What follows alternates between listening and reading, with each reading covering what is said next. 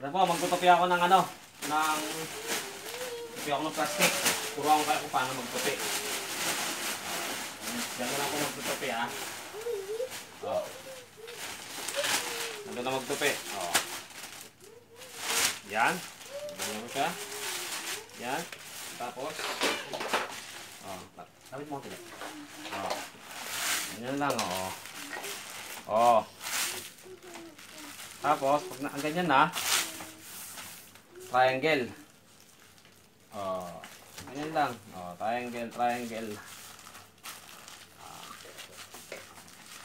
Ito makaano siya. Tapos, yung pinakadulo, ganyan mo ngayon. Ah. Para pag ginamit, madali na lang. Ah. Oh.